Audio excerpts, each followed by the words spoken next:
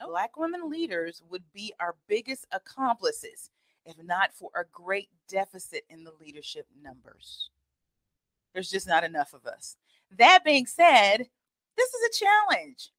We pretty much know who's in our department, we know who's in our business unit, we know who's in our company. We can pretty much count them on our hands.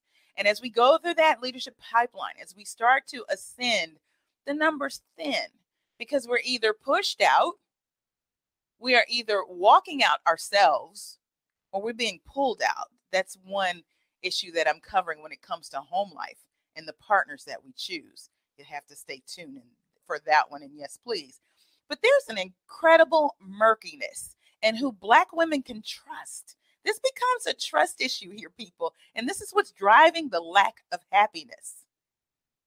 There's a lack of trust. How do you know which white guy you can turn to? It takes time. That's that's the one thing. We know that some of them are allies. We know that some of them can do the dirty work. We also know that there are people of color who are more than happy to do the dirty work for them. Who has had that problem before? I've had that. Vanessa says it's so true. Trust is such a big issue.